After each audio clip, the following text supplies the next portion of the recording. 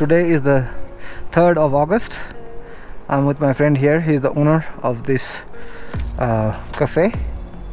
And the name of the cafe is Apricot Cafe Restaurant.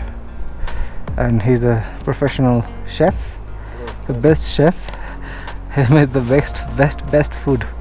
So if you want good food definitely come here. This is the first cafe you will find on your way to Turtuk and the owner is a young owner he's a local from here. He had been very gracious and um, very nice and kind allowed me to tent in his cafe. Yep now I'm all set to go to the Siachen base camp. It's gonna be about 150 kilometers from here approximately. Now if there's any rain I'll immediately pull out my raincoat from here and then I have a cover for this one also. All set. Oh yeah. Okay, sir. Okay, sir. thank you so much. Okay good luck. Thank First you. luck. thank you. thank you brothers. Now my next destination is Siachen base camp bye. Okay, bye. okay brother. Bye.